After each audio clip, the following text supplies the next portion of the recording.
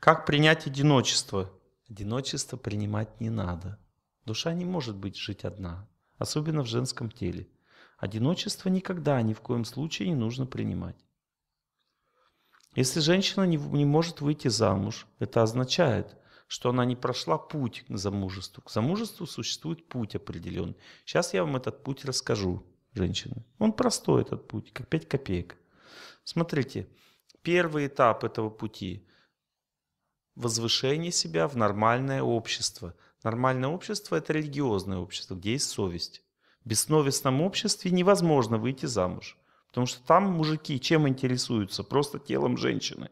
Они просто его эксплуатируют. Если у вас нет такой силы женской, чтобы э, мужика, который эксплуатирует вас, привязать совсем, некоторые женщины могут иметь такую силу, и они привязывают на несколько лет мужика своей, вот, своими чарами. А некоторые не имеют такой силы. Они привязывают его там на пару дней.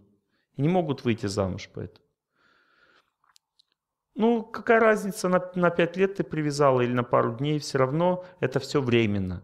В этом бессовестном, безрелигиозном обществе не существует возможности быть вместе.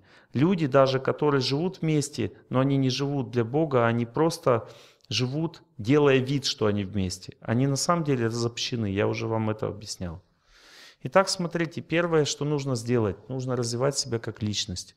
Нужно почувствовать отношения со святостью, чистотой, найти свою веру, найти своего наставника.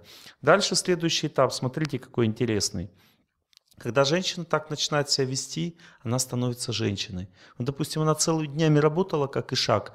Она начинает чувствовать женщиной себя, когда начинает молиться Богу, и расслабляется. Ей уже не хочется так много работать, у нее появляются женские интересы.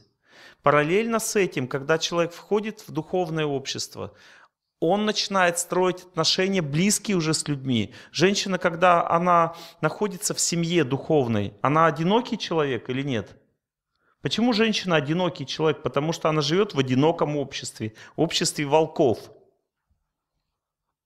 Понимаете, нет? Когда женщина начинает общаться с духовной среде, она уже не одинокая, у нее уже есть близкие отношения. И сначала надо устанавливать близкие отношения с женщинами.